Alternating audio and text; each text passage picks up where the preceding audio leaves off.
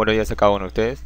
En el siguiente video veremos el tema progresión aritmética y vamos a desarrollar un ejemplo para calcular la suma de términos, la cual lo vamos a representar con S sub n. El ejemplo dice calcula la suma de todos los términos de la siguiente progresión aritmética. En este caso recuerden que para calcular la suma de términos necesitamos saber el primer término que aquí lo tenemos también necesitamos saber el último término, que también aquí lo tenemos, y además necesitamos saber el número de términos, el cual este ejemplo no nos está dando ese dato.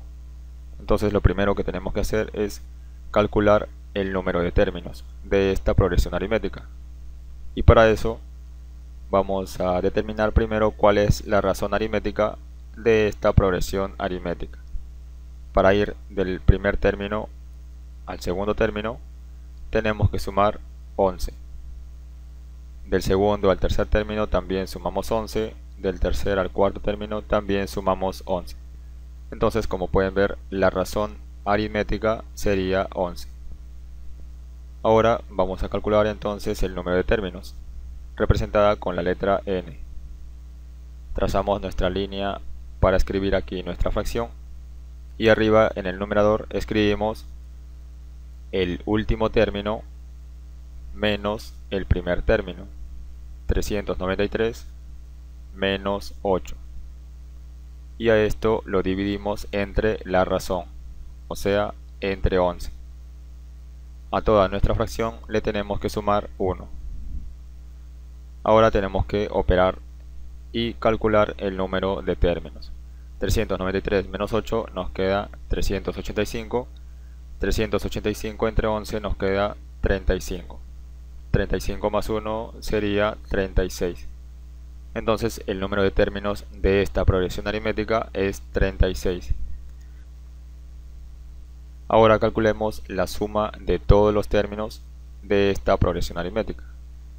Para eso vamos a escribir nuestra línea para escribir aquí nuestra fracción y arriba en el numerador escribimos la suma del primer y último término, es decir, 8 más 393. 8 más 393. A esta suma lo vamos a dividir entre 2 y a toda nuestra fracción lo vamos a multiplicar por el número de términos, que nos ha quedado 36. Ahora operamos para calcular la suma de los términos. 8 más 393 nos queda 401 y en este caso 401 entre 2 si lo dividimos nos quedaría un decimal. Y tampoco podríamos simplificar porque el 2 tiene mitad pero 401 no tiene mitad. Lo bueno de esto es que se está multiplicando con el 36 entonces podemos simplificar el 2 y el 36 2 entre 2 nos quedaría 1 y 36 entre 2 nos quedaría 18.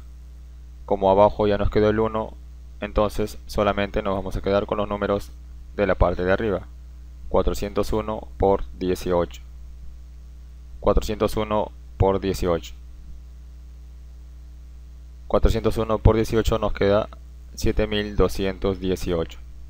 Entonces la suma de todos los términos de esta progresión aritmética es 7218.